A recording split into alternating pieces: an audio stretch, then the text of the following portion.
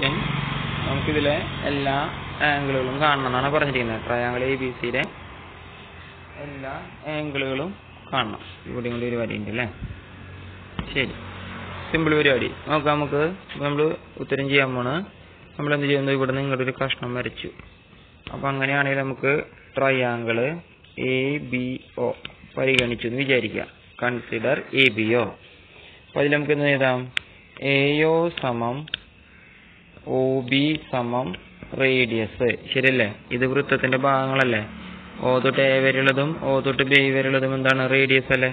അപ്പൊ അങ്ങനെയാണെങ്കിൽ therefore triangle A B O എന്താണ്?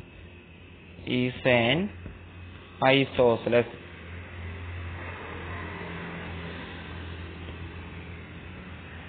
Isosceles triangle എന്ന് വെച്ചാൽ രണ്ട് വശങ്ങൾ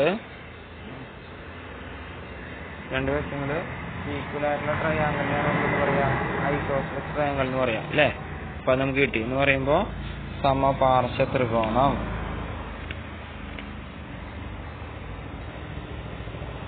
ഓക്കെ ഐസോസ്ലസ് ട്രയാങ്കിൾ ആകുമ്പോൾ തുല്യ കോണുകൾക്ക് തുല്യ വശങ്ങൾക്ക് എതിരെയുള്ള വശങ്ങൾ എന്തായിരിക്കും?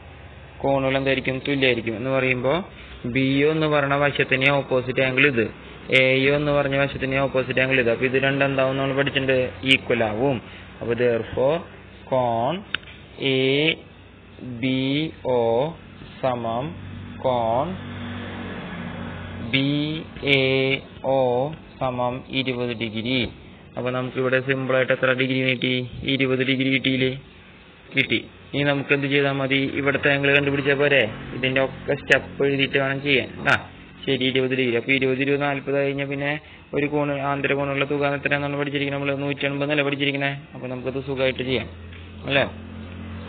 കോൺ എ ബി ഒ പ്ലസ് കോൺ എ ഒ ബി പ്ലസ് കോൺ ബി എ ഒ സമം നൂറ്റി എൺപത് എ ബി ഒ എന്ന് പറയുന്നത് ഇരുപത്.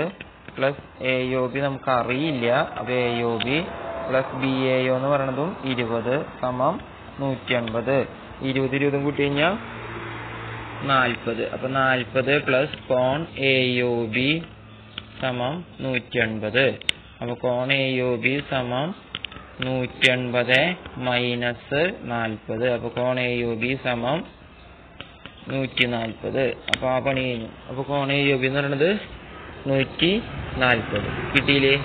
ഇതേപോലെ തന്നെ നമ്മൾ എന്ത് ചെയ്യണു? അപ്പുറത്തെ ട്രയാങ്കിളും എടുക്കണം. ശരി. അടുത്ത ട്രയാങ്കിളിന്റെ പേര് ട്രയാങ്കിൾ എ ഒ സി ഈ പറഞ്ഞ കാര്യങ്ങളൊക്കെ അവിടെ ഇല്ലേ?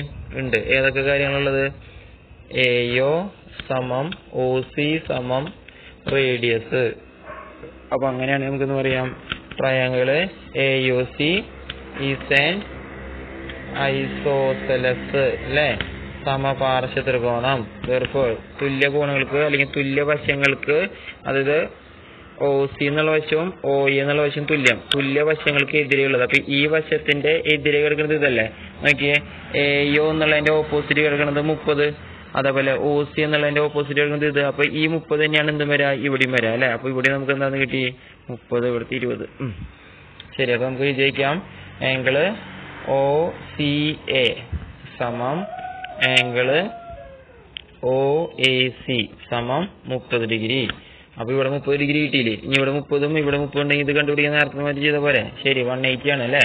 അപ്പോ ശരി എഴുതുമ്പോ angle O A C plus angle O C A plus angle A O C സമം നൂറ്റി അൻപത് ഒ എ സി എന്ന് പറയുമ്പോൾ നമുക്കറിയാം O A C O A C മുപ്പത് ഡിഗ്രി ഒ സി എ മുപ്പത് degree plus A O C എന്ന് പറയുമ്പോൾ നൂറ്റി അൻപത് അപ്പൊ മുപ്പത് മുപ്പത് അറുപതായി. അറുപത് plus angle A U C സമം വൺ എയ്റ്റി അപ്പൊ ആംഗിൾ എ യു സി സമം നൂറ്റി അൻപത് മൈനസ് അറുപത്. അപ്പൊ ആംഗിൾ എ യു സി സമം നൂറ്റി അൻപത് അറുപത് പോയ നൂറ്റി ഇരുപത് എന്ന് പറയുമ്പോൾ ഇവിടുത്തെ ആംഗിളും കിട്ടിയ എത്രയാണ്? നൂറ്റി ഇരുപത് ഇനി ഇവിടുത്തെ ആംഗിൾ കണ്ടുപിടിക്കാൻ വല്ല പ്രയാസം ഉണ്ടാ ഇല്ല ഇങ്ങനെ ചെയ്താൽ മതി.